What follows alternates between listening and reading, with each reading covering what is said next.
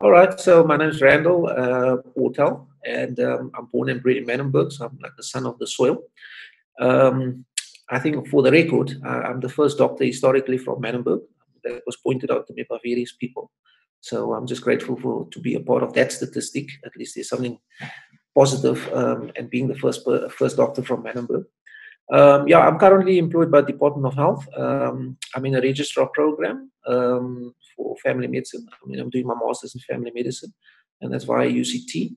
But uh, I still rotate in government facilities, and at the moment, I am rotating through uh, the Department of Obstetrics and Gynecology, uh, and that's at New Somerset Hospital under the leadership of um, Professor Petro. So that's that's that's my current um, status at the moment. We've all been hit by uh, this pandemic um, called coronavirus or COVID 19, whichever way you want to put it. And um, the reason for the lockdown is basically to prevent spread.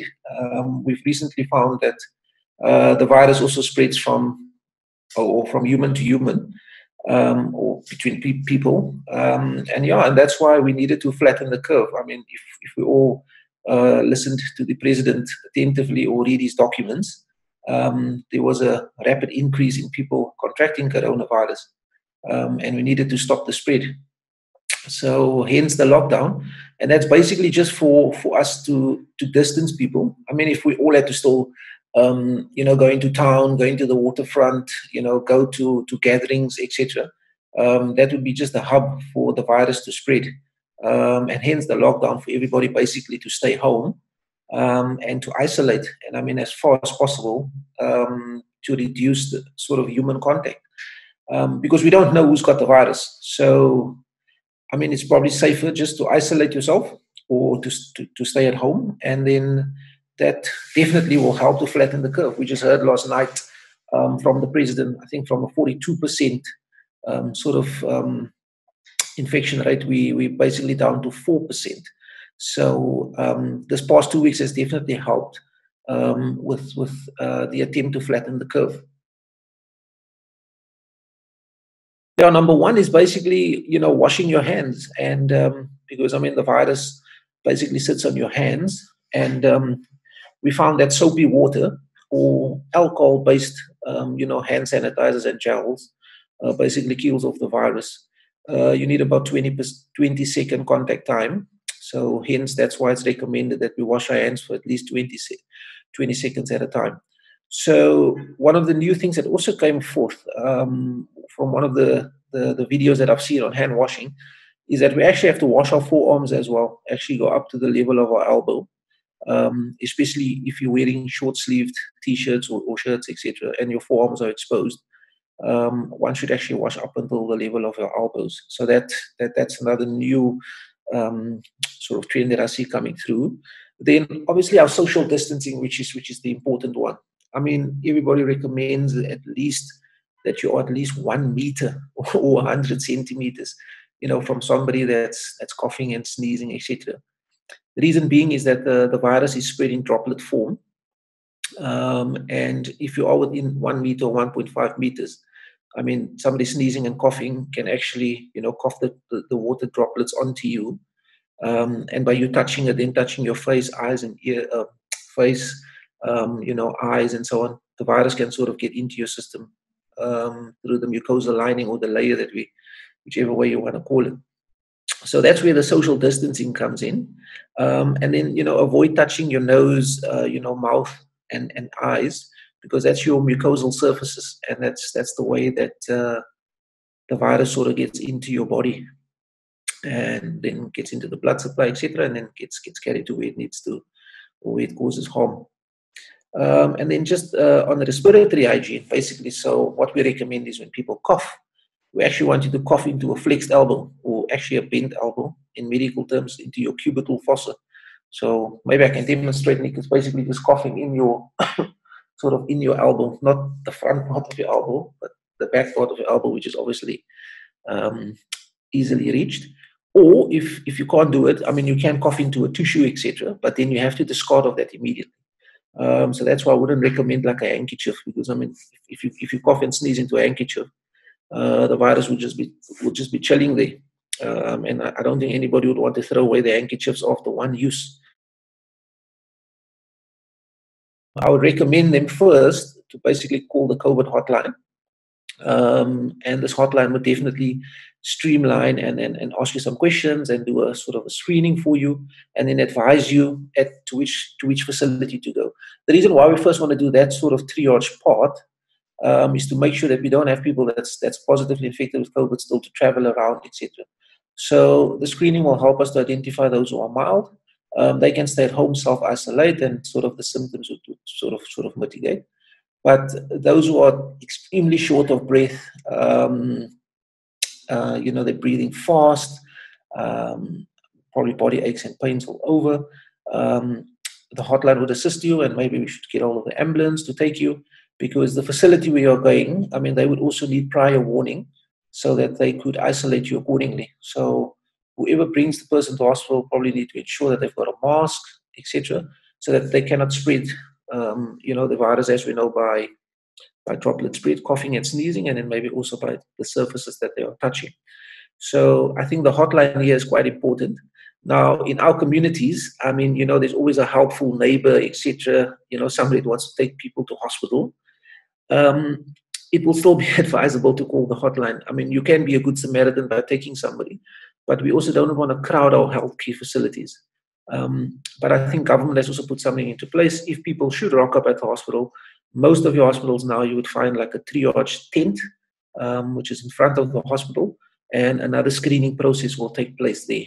Um, so that is just to safeguard uh, getting persons that are actually positive or persons under investigation into hospital and trying disseminating the, the virus. So there is a sort of a second catch point um, when they reach a hospital facility that they, they will be triaged on the outside or a, well ventilated tent or something just to, to catch those ones that are really, really, really positive with symptoms. Our concern is definitely that people are not adhering um, to the regulations in Manenberg. I mean, if you if you go through Manenberg now, uh, you'll find people on the streets. It's, you know, um, I, I, I don't know. I mean, um, they're just they're just not eating the call. Um, yes, I know it's difficult. We've got our social ills, but again, that's a topic for another day. Um, people are also ignorant. That's also a topic for another day. Um, if one looks at history as, as to where it comes from. But um, yeah, my message basically would be to our people is, you know, you cannot see coronavirus. Um, you don't know who's a carrier. So you might come into contact with somebody that might just be having a simple cough and cold, etc. And that person could be spreading it. And but by the time you realize it, I mean, you've literally gone around and infected basically most people around you. So the incubation period is about two weeks. It's 14 days. And um, if we don't sort of isolate, I mean, how many people do we come in contact with within 14 days? Um, I mean, I don't want to mention specific hotspots in Manenberg, but I mean, I particularly see around, you know, the taxi activity. I mean, there's so many guys involved in the taxi industry there, you know, you know, loading passengers, etc. I mean, one of them should be positive, and I mean, they give it to somebody that's in a taxi that goes to wherever they need to be, um, it's just a domino effect. I mean, it just spreads on. Um, I've also noticed people queuing at you know certain shopping you know outlets and shops etc. Um, and not observing the the social distancing. Uh, that could obviously be a potential problem for us. So, I mean, especially at garages and and you know those those shopping outlets. So those are those those are the hotspots for me, basically. Um, you know, in Manenberg. There are talks um, about the community screening. You've seen in certain, um, you know, Cape Flats communities that's already started. Um, and I think it will definitely come through to, to, to, to most of the areas. Um, the thing is, Nick, I mean, screening is definitely needed um, because we need to know who's got the virus. I mean, people might have the virus and not be necessarily sick, but they, they're still a carrier and it could still spread. The problem is if if if that virus gets to somebody who's, who's, who's immunocompromised or immune system is weak, I mean, especially our elderly, um, you know, our diabetic patients, our HIV patients, I mean, our TB patients, I mean, they are the ones that could that that that could definitely become more ill, and and and those are the ones that might might come to to the fore, but they could have gotten the virus from somebody that's got a bit of a stronger immune system that's just a carrier that could self isolate or, or, or where the where um, the illness could just mitigate by itself. So screening is definitely needed. Um, we need to test more because the scenario can be. I mean, people can pass on, and somebody could just say, "Ah, that person was sick. I mean, they had a flu, etc., and they passed on." But if they weren't tested, I mean, we could be missing, uh, you know, COVID numbers.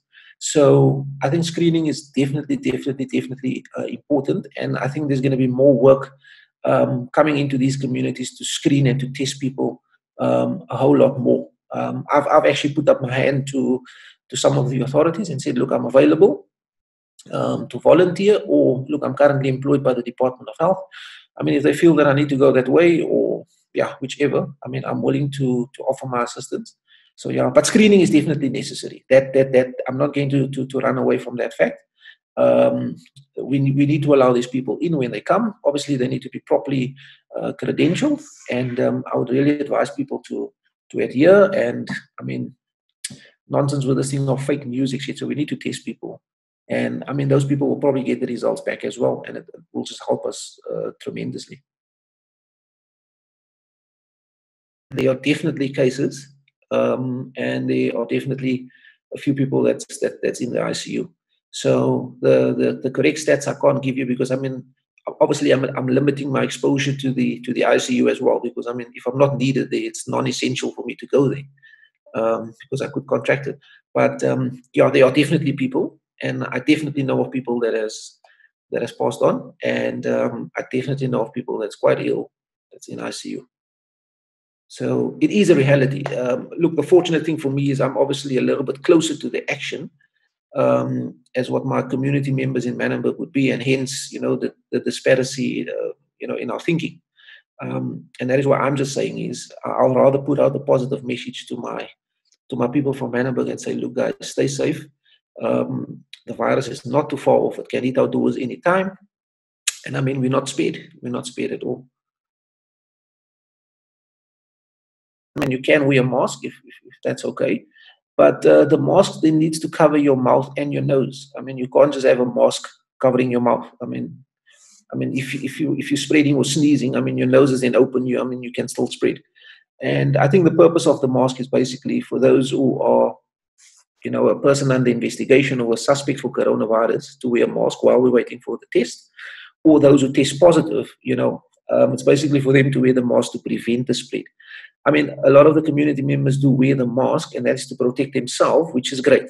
I mean, you can also do that, but then you can't tamper with the mask. You can't touch the mask all the time, um, and it needs to stay on at least for you know eight hours. I mean, and you need to protect the integrity of the mask. So I've seen quite a few people just walking around with a mask covering the mouth only and not the nose. So I don't think there will be any any relevance in that. Um, I've also noticed people walking around with gloves. Um, I mean, you know, gloves like your hand. I mean, it's just a barrier. So I mean, if you got the infection on your on your glove, and I mean, you're keeping the glove on your hands for eight hours, you could still spread the virus um, by touching your face, nose, etc.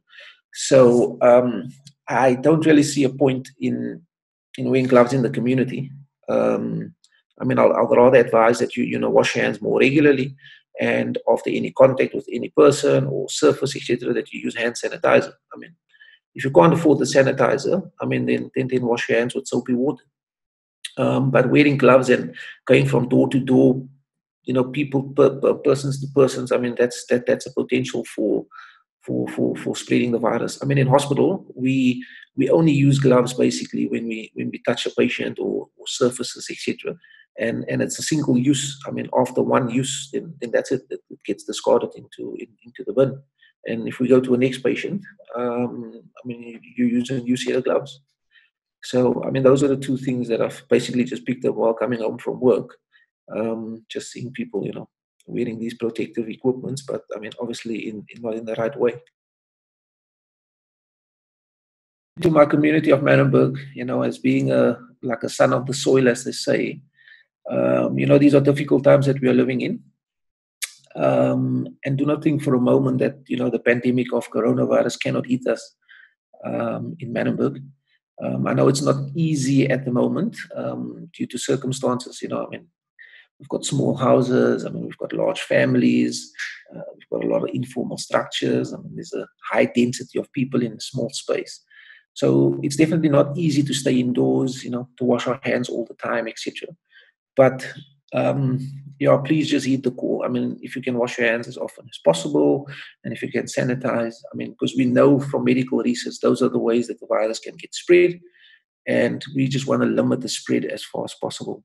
So, you know, as soon as this whole pandemic is over, um, you know, we can then again start visiting and socializing. I don't think we're going to miss out on everything or on anything. So my advice would please be, please, please, please, please heed the call of our president.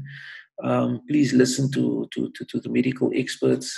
Um, you know, stay at home, limit, you know, social gatherings and activities as far as possible. Um, my fear is that, you know, one or two persons get infected in Manenberg, it spreads like wildfire. And, you know, it would be sad, I mean, for family members to lose uh, loved ones um, with coronavirus. And I mean, there's such a lot of information out there.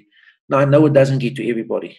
Um, I know not everybody has internet, etc. But I mean, there's at least one person, um, you know, with a cell phone that can Google signs and symptoms, etc. Um, my advice would be: is if you're at home and you know you don't know what to do with your family, I mean, Google.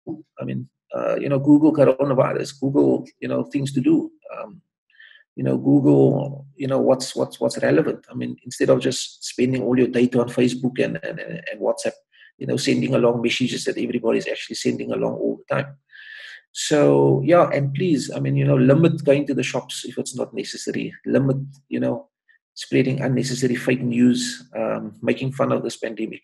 Um, it's really serious and um, i wouldn't want to see any any any of my fellow community members Uh, be struck by coronavirus and, and, and succumbing to that.